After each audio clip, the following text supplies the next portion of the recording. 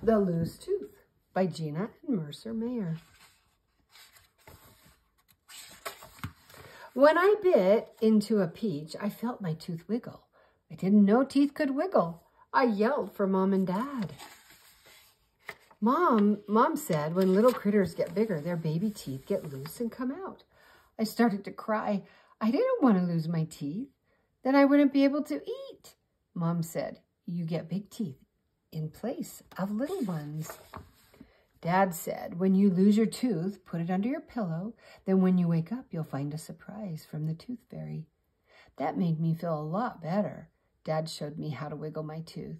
He said, wiggling your tooth may make it come out faster. I wiggled my tooth in front of the mirror. I wiggled my tooth while I was doing homework. I wiggled my tooth while I was in the clubhouse.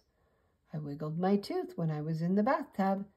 I even let my little sister wiggle my tooth, but it still didn't come out.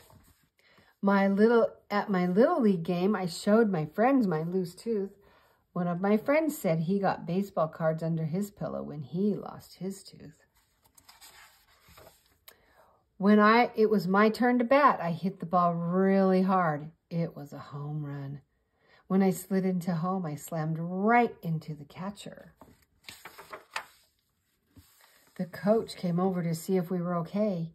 He noticed my tooth was missing. We found it right beside home plate. Mom and Dad came over to get me and I showed them my tooth. My sister laughed. You look funny, she said. I looked in the mirror. I did look kind of funny. My sister kept calling me Snaggletooth. Dad made me made her stop. At dinner, it was hard to eat because my mouth was kind of sore. And it felt really weird when I brushed my teeth. I later tucked my tooth under my pillow and went right to sleep. Losing my tooth made me feel tired. I dreamed I was in a candy store, but I couldn't eat anything because I didn't have any teeth. It was terrible. When I woke up, I checked under my pillow. My tooth was gone and a whole dollar bill was in its place. I think I'll put my dollar bill dollar in my piggy bank until the rest of my teeth come out. Then I'll have lots of dollars and I can buy anything I want. Well, almost anything. Critters Candy Shop. The end.